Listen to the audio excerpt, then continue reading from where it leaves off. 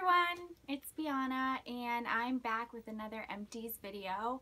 I guess this could be called looking at what's in my trash, but I have a lot of products that I was really happy to finally use up and I was really happy to be able to give you guys great reviews on them. So let's just get right to it. The first product is um, a women's multivitamin. I got these at Target and they're a little pricey, probably at the $11.99 mark, but I obviously really enjoyed them because as soon as I was done with this one, I bought another one and I actually have another one that I am using right now. I think it works really great. My nails are stronger, my hair feels longer and um, silkier, so it's doing what it says it's gonna do, so I really enjoyed it. The next product is a um, makeup remover cleansing wipes and these are actually the Up and Up brand from Target so it's comparable to the Neutrogena face wipes and I think they work just as great for a fraction of the cost and I've repurchased them already. They're great for traveling. I don't normally use them when I'm at home because I can just wash my face but I really like them when I travel so I already repurchased for future trips. Another product that I have is this um, gel um, shaving cream that I actually received in one of my glossy boxes a long time ago and I finally just finished it. It's by Rituals and you get the closest shave with this and I really enjoyed it. I haven't been able to find it any any in stores, but I know they're sold on Amazon, so I'll probably repurchase once I'm done with all my other stuff, but I really like this one. Another product I have is this Toni and Guy leave-in conditioner.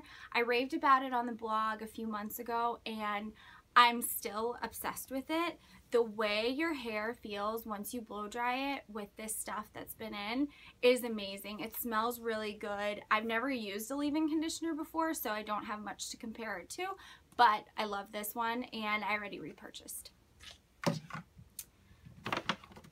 The foundation that I just finished using is this Naked Skin by Urban Decay.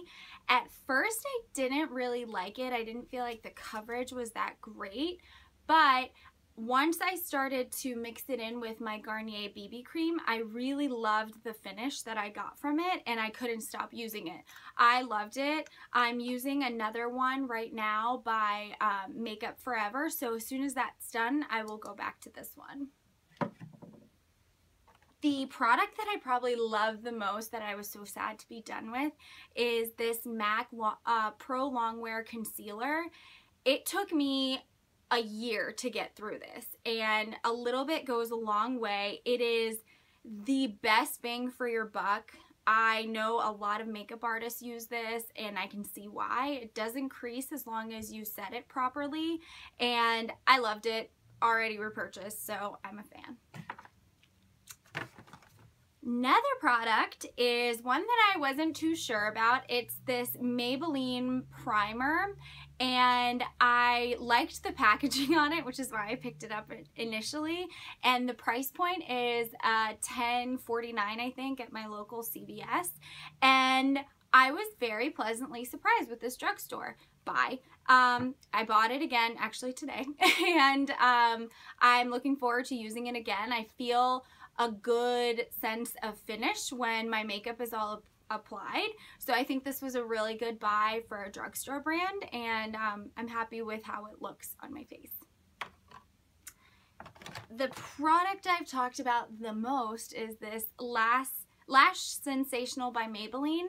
This is my favorite drugstore mascara. It is, it's the best. It it really, I don't know if you can see the, um, the brush here, but it's curved and the way it like just lengthens your lashes, it is perfect. I've used three tubes of this already, so I'm clearly a fan. I have a couple of um, higher end mascaras that I'm using right now, but I think it's just as good as Too Faced Better Than Sex mascara. And um, there's another one by Marc Jacobs right now that I'm using, but it's just as good for a fraction of the price. This is a find that I had about four or five years ago from the drugstore. It's a it's a makeup brand called Jordana and it's easy liner for eyes. and the color is I, I actually don't know but it's like a khaki color and it glides on really smooth and it doesn't can you see that it doesn't really um it doesn't move at all it stays on your eyes all day and you don't get that creasing under your eyes that you can get with some mess or with some eyeliners. These are $1.99 at Walgreens. I have them in about six different colors. So this is a buy that I will always get and I think it holds up better than any high-end um, eyeliner out there. The reason I'm asking can you see this is because my husband is filming. All right, the final products that I have are all samples that I got either in um, my Sephora boxes or just uh, through some other things. So the first one is this belif um, True Aqua Bomb. I mentioned this before. It is like going to the spa after your shower. Your face feels so smooth. It's a it's a watery based um, moisturizer and it is just it feels like a gel. It's really great.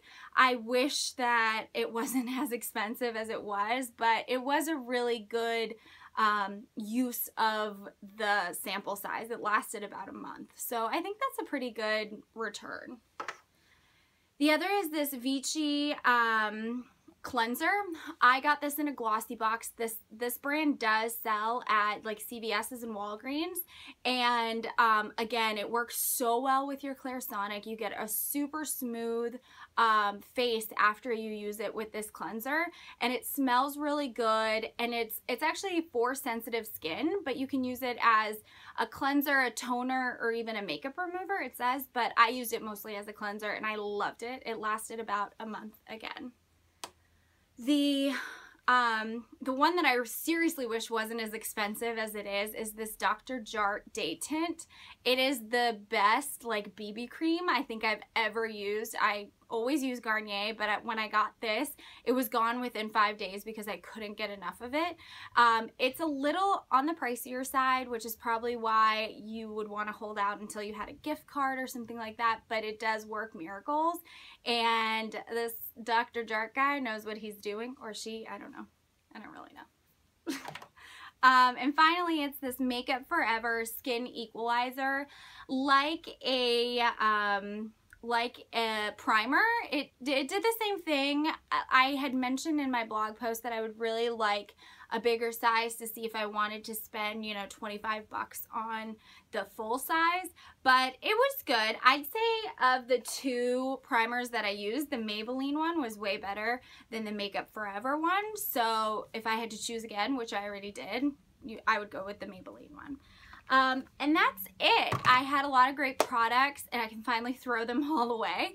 But um, I hope you enjoyed this video and I did a full review of everything in the blog post as well. Bye.